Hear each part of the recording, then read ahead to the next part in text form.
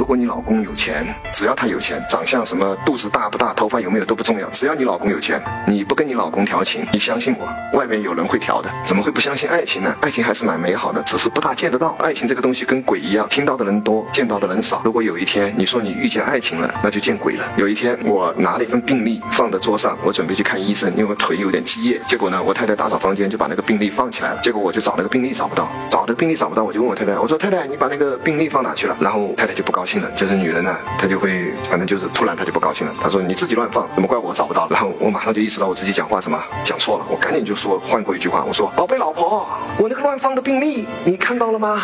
然后我的太太就帮我找出来了，因为其实是她放的。所以各位啊，你们一定要小心，女人最擅长的就是挖坑。在夫妻的感情生活中，一定要小心。很多男人呢，很多老爷们呢，太老实。结果我太太就问了我一个问题，她说：“老公，我是不是不好啊？”你说这个坑多大呀，挖的！